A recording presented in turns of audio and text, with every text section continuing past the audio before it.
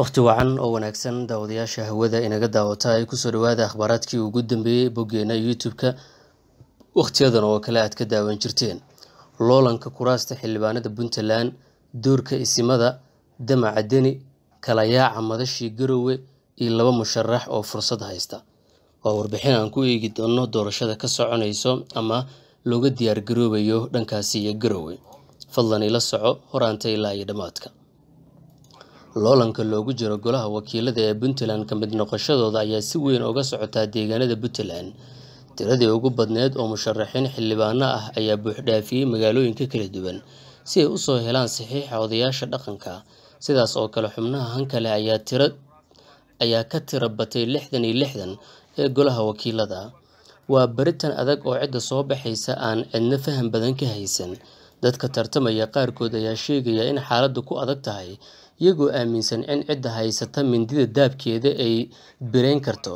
Cid kasta oo ay u aragto inay cadow kasta ama cadow ku tahay iyada taas oo rajada xubno hore u haystay saxiixa odayaasha dhaqanka hoos u dhigtay lixdan iyo lixda kursi ee gobollada Puntland.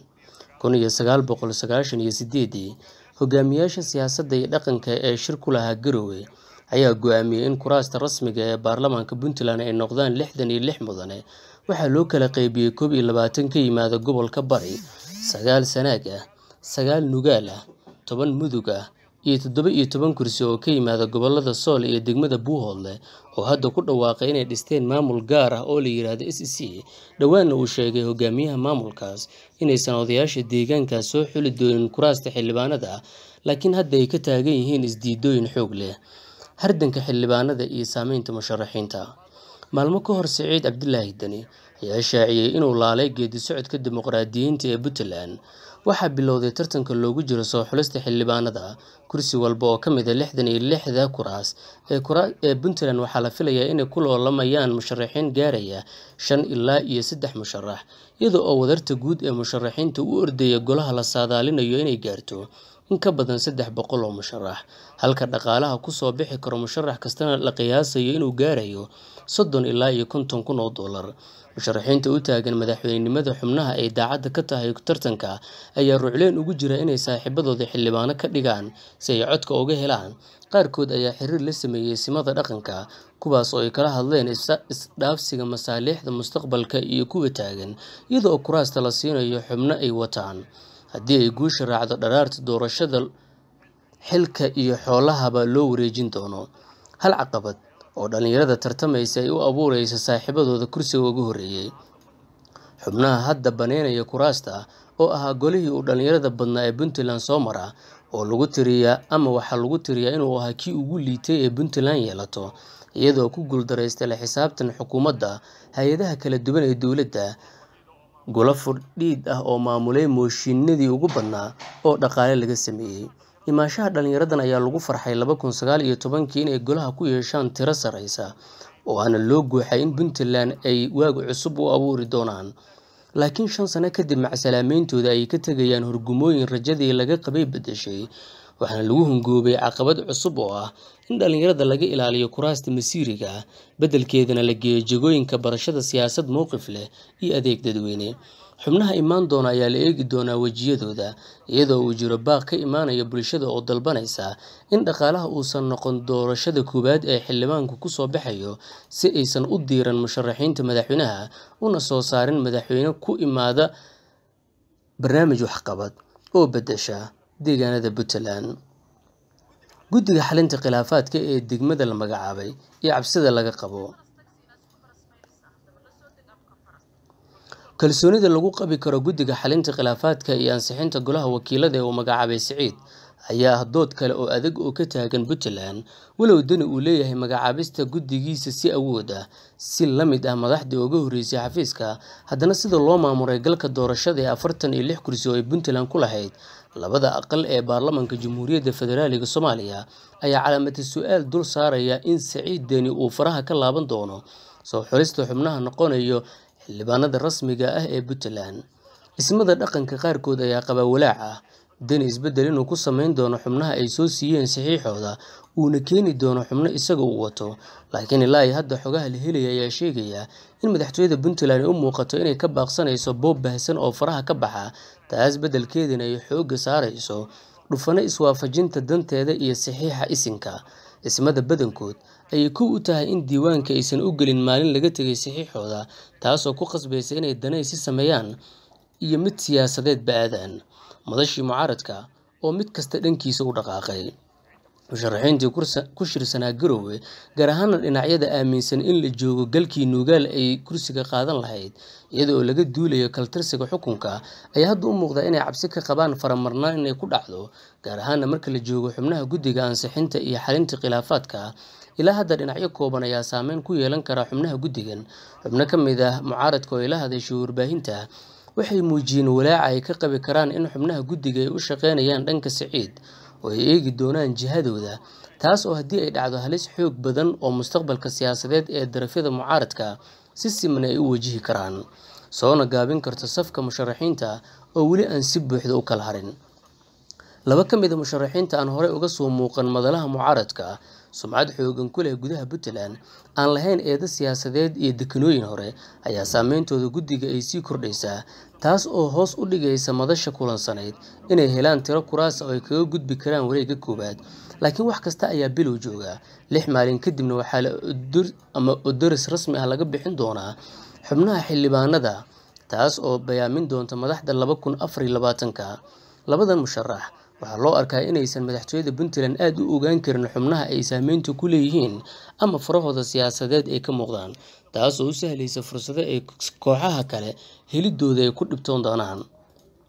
Kala yaaca iyo filanwaaga mucaaradka qaarkood ku dhawaaqistii siciidan iyo aadista doorashada qabaa'ilka ayaa kala yaac siyaasadeed ku riday xubnaha mucaaradka ee ku shirsanaa garowe kooxba meel ayay ku dhufatay go'aanka qaarkood oo isku diyaarinayay doorasho si gaar ah shirikooyinka dani la maamulay dhammaan dhacdooyinkii puntland ka dhacay ayaa noqday dhibanayaasha ugu badan iyadoo xubnaha kale ee iyaga ka sii hoosmareen qaarkood taas oo laga dheehanayo in saameynta guddiga ay galaangal ku heli karaan ayaa aada hoos ugu dhacday. Waxaana fashil u muuqdaa dadaal ay geliyaan dib u dhac ku yimaada doorashada joogista xildhibaanada waqtigooda gaabsi yahay si ay iyagu madaxweyne iyo madaxweyne ku-xigeen u soo doortaan iyo in ugu yaraan ay kuraastooda sii fadhiyaan toddoba iyo toban xildhibaan ee matalaya gobollada sool sanaag iyo cayn ee maamulka laga yegleelay. Puntland loolanka ayaa sii socon doonaa toban maalin kadib rajada xildhibaanada ayaa la sii ogaan doonaa taas oo muujin doonta halkay u badan tahay sawaaxanka iyo natiijada codadka saadaalinta hordhaca sida loo kala haysto koob iyo soddonkana waxaa la sii shaacinayaa ugu dambeyn liiska xildhibaanada cusub ee baarlamaanka puntland بهجك داودي المركنا عن سلاج نور بحنا كسابسن دنكاسيو قزة. بسم الله الرحمن الرحيم. سود وادا صاحب يال ميل والبوا جوكتان. كسود وادا مركلا يفرنقين كسابسن قدهان عالمك وشان يتبنك بشا ديزمبر سند كلا لباتر يسدح. مانتا أو جمعاء.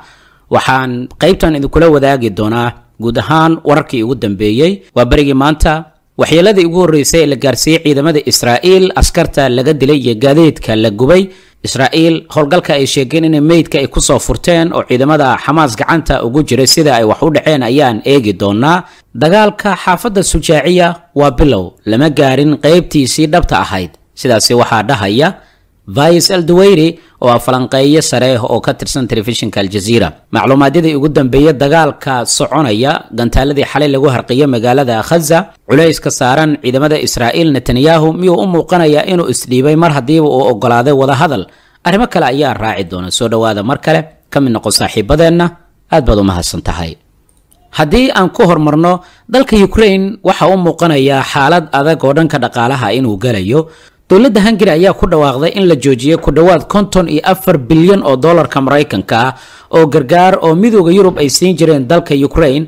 Tani waxay dharbaaxa culus ay ku noqonaysaa madaxweynaha dalka ukraine zelenski madaxweyne zelenski waxauu ku guuldaraystay toddobaadkan in golaha wakiilada ee dowladda maraykanka uu ku qanciyo lixdan iyo kow bilyan oo dheeraad ah oo lagu talagalay dalka ukraine in la siiyo si ay hub ay ugu iibsadaan waxaana muuqanaysa in loo soo deyriyey valadimir zelenski dhaqaale la-aanna wax walba ma soconayaan tani waxay ka dhigan tahay isku tasho in la yiri bilowgii sanadkan cusub ayaa waxaaba socotay in wadanka ukraine oo u muuqanayo wadan musallafay oo aan sii wadi karaynin dagaalka uu kula jiro ruushka maadaama xilli horeba inta badan kala bar kaalmadii uu heli jiray oo reer galbeedka uu ka heli jiray la joojiyey iyadoo xaaladdu sidaa ay tahay oo bilowgii sanadkanba ukraine laga joojiyey kaalmadii la siin jiray maadaama ay isfahmi waayeen valadimir zelenski ayaa haddana bishii oktoobar waxaa bilowday dagaalka ka soconaya gudaha marinka khaza kadib markii xoogaga iska caabinta falastiiniyiinta ay weerar dhowr jiha ay ku qaadeen deegaanada israa'iil xoogga ay ku haysato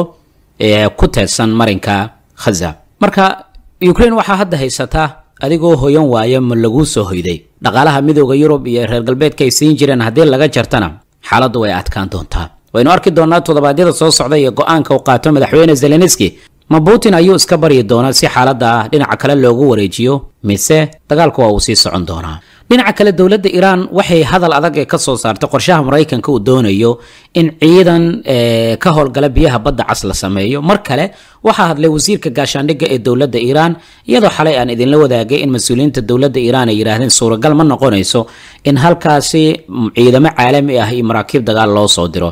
Marka wasiirka gaashaandhigga ee dowladda iiraan wuxuu mar kale yidhi qofna kuma dhaqaaqi karayo gobol aan annaga maamulno amar la'aanteena meelna uguma bannaana gobolka dhaqdhaqaaqyo iyo iska horimaadyo ciidan.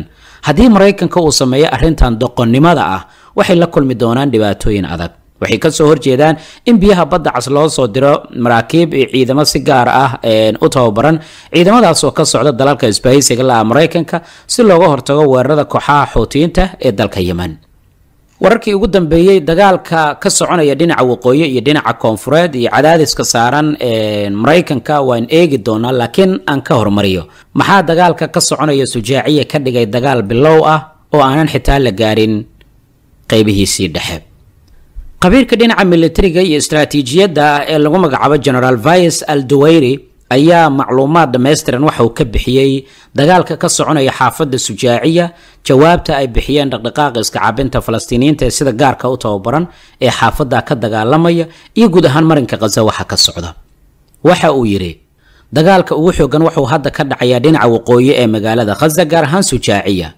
Si gaar ahaaneed waxa uu dagaalka ka dhacayaa dhinaca midig iyo dhinaca bidix waddada lagu magacaabo baqdaad oo ah waddo dhex marta xaafadda sujaaciya weliba goobaha lagu dagaalamayo waa goob xadidan buu yidhi. Sidaa ay muujinayaan sawirada dhanka satellite-ka ah ee telefishinka aljaziira uu helayo. Laakiin wuxuu yidhi dagaalkii dhabta ahaa weli ma uusan bilaaban. Marka aad eegto waxa ka dhacaya xaafadda sujaaciya waa bilowga dagaalka.